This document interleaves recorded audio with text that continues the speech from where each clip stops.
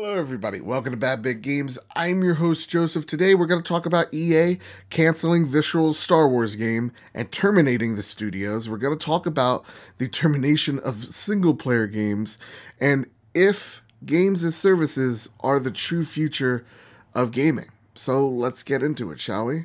All right. EA.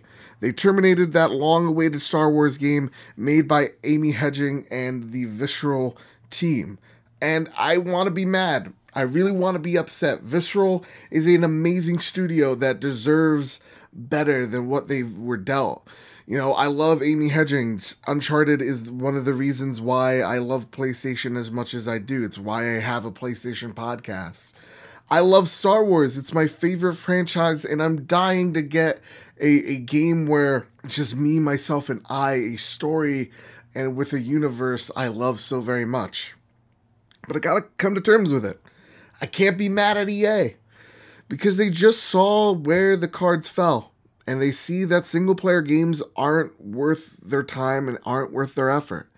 You know, EA said that one of the reasons why they terminated this game is because they wanted and wanted a different direction. They wanted a more online focus rather than single player focus.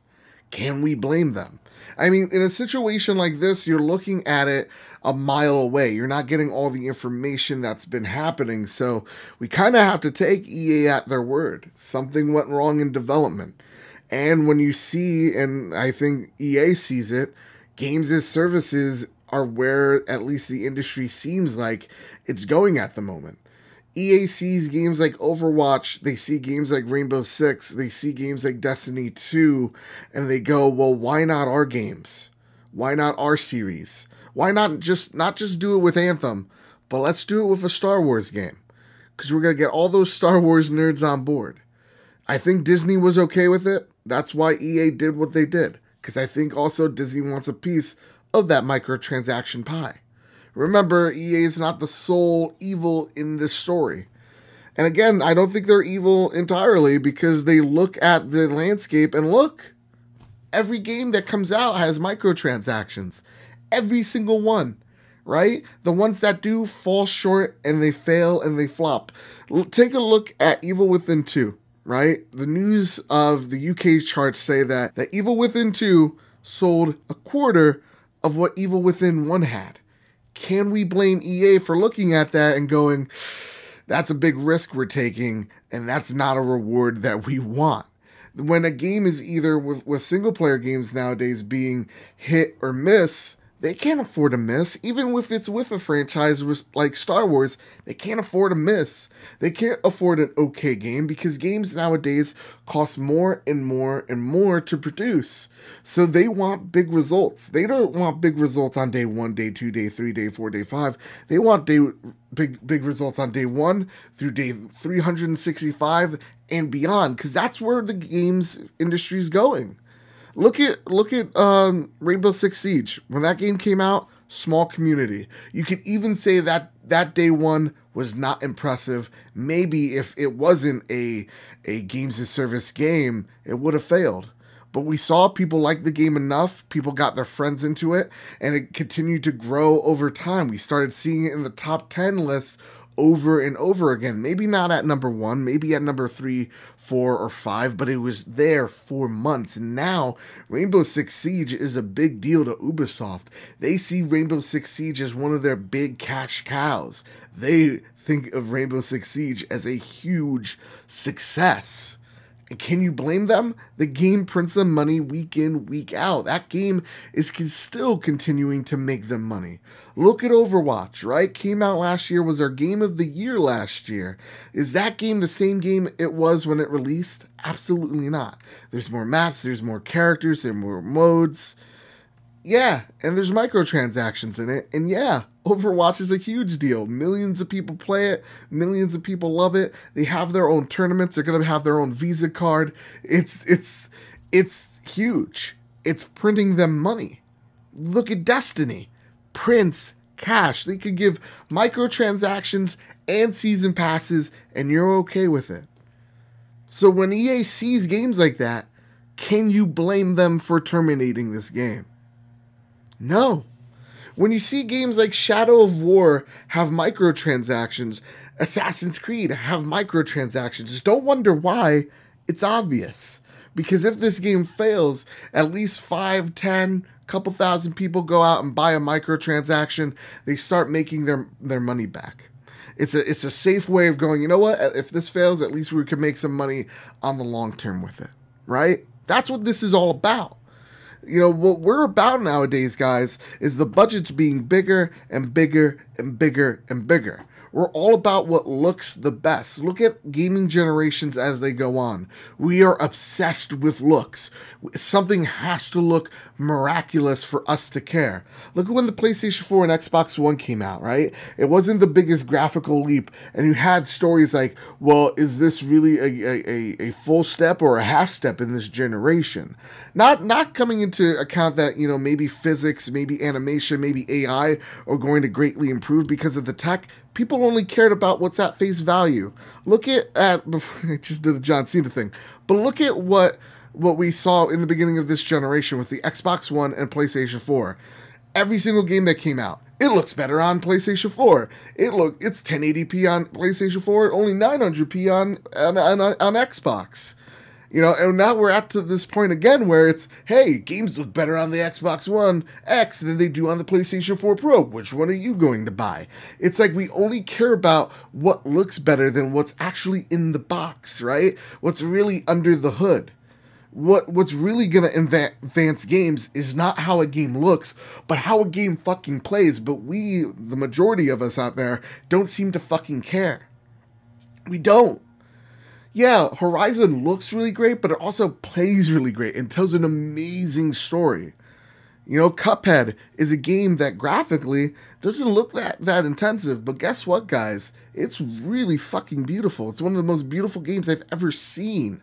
And it's going to last the test of time. That game is going to age way better than what any game is going to be this generation any game, even Legend of Zelda Breath of the Wild, this game Cuphead's gonna age better than that because guess what? It's not about what looks the best, it's about their art direction they chose. But we are obsessed about what looks well. We are at 1080p and some games can barely do 60 FPS. We are already jumping to 4K. So when companies and studios are obsessed with it has to look better, it has to feel better, it has to look better than its sequel, right? Look at Destiny to Destiny 2. Oh, the, the game looks the same as this Destiny 1.5. We're that obsessed about looks that we don't look at what's under the hood. We don't whatsoever. So when companies look at this, they go, well, that's what people want, and they start pushing the envelope of what looks good. They don't give a shit anything else. They don't give a shit. It's all about looks and marketing. And games, because of that, are becoming more and more expensive. And games prices, 60 bucks, it's been that way for 10 plus years.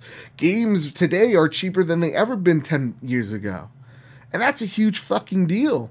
So if you're a publisher, if you're a developer out there, are you gonna up it by 10 bucks? Are you gonna up your game price by 20 bucks? Are you going to give the price of what you believe your game is worth? Absolutely fucking not.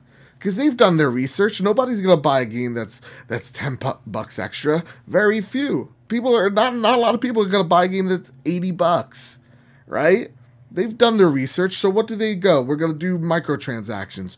We're going to take get things that were once in the game, like customization options. We're going to take away things like cheat codes that were once in the game. We're going to put them behind these these little boxes that you get to bet on, that you get to put money on. That's what matters now. So when you look at a game like Overwatch, you go, well, that's that future is not too bad because hey, at least they give you, you know, free content over time, right? But then you have to remember to yourself that not everybody's Blizzard that you're going to have some people like Bungie, some people like Activision out there that when they're running their games, they go, yeah, put a season pass in there and put a couple of microtransactions in there. Take some things that were out of Destiny 1, put them behind a paywall, and who gives a shit? They're going to kick, they're going to scream, but it's pure profit. Some people are going to go a little bit over and beyond, like Battlefront 2 with EA, and go, yeah, no, some, some, we're to tie progression actual abilities and put them behind paywalls because that fucking makes sense. You're gonna have that, and that's what the future of of games and services is. It's this idea of just because Overwatch did it and Destiny has done it doesn't necessarily mean that your game can do it, but publishers don't see it that way. They just see an opportunity to make money, and if it fails, it fails. They will hop on this until they make money out of it. This is a fad, maybe. Maybe it is just like when Call of Duty came out and was so big, everybody needed a Call of Duty game. I see the same thing. I don't think single player games are dying. I think they're shrinking, and I think who who implements single player games, who who who actually creates them, are going to change. I don't think it's AAA games anymore. That we're gonna see those big, those beautiful stories that we as gamers love and come to expect. I think they're in the AA spaces. I think they're in games like Hellblade. I think they're in games like uh, Cuphead. I think that's where the future of single player games at the moment lies in. People that are really passionate to tell a great story at at no cost, right? At no compromise. Those are the people that are going to make great things. People like CD Projekt Red, people like Insomniac Games will continue to make great fantastic games. People who are independent, who don't are, are, are not subservient to these AAA publishers or to some higher power, uh, those people are going to succeed.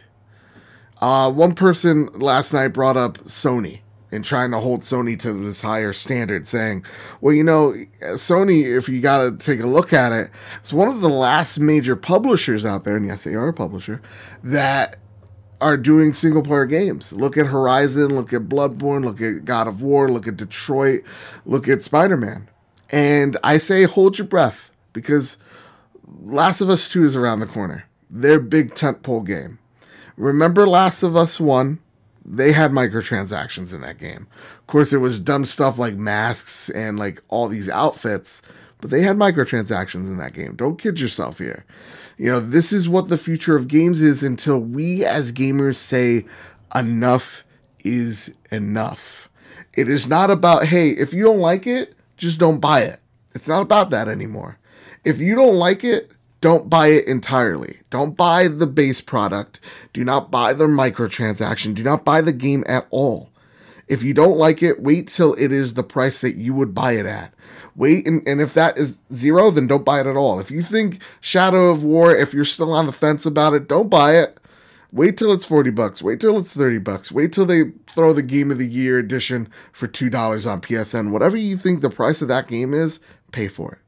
That's what I say to you guys. When I look at Battlefront 2, am I going to buy that game day one as much as I'm a huge Star Wars fan? Am I going to reward DICE and EA for shitty behavior? No. As much as I love Star Wars, as much as I waited for for tickets until 2 a.m. for that for that movie, and I'll be seeing The Last Jedi at 1:30 a.m. and pumped. I'm not going to go reward EA. I'm not going to reward DICE for putting things that should be in the game already outside behind a paywall. I'm not going to reward that behavior. I'm not going to reward abilities being locked behind my progression. Fuck that. No, not going to buy it. I'm going to wait until it's a price that I feel is necessary.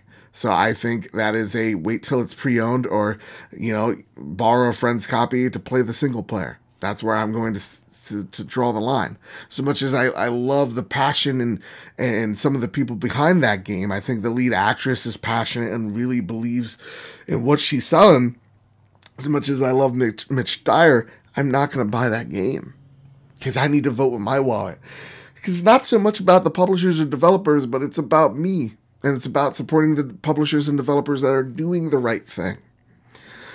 So, with that said, with that all out of the way, I know this is a big rant, but again, I don't think we could be as harsh as we are to EA. I think we need to be harsh to ourselves for letting it get this far. I really do believe that you know, I still play games like Overwatch, and I love Overwatch, and I still think Overwatch does it the best in terms of microtransactions because Overwatch does it and is successful at it and does it right.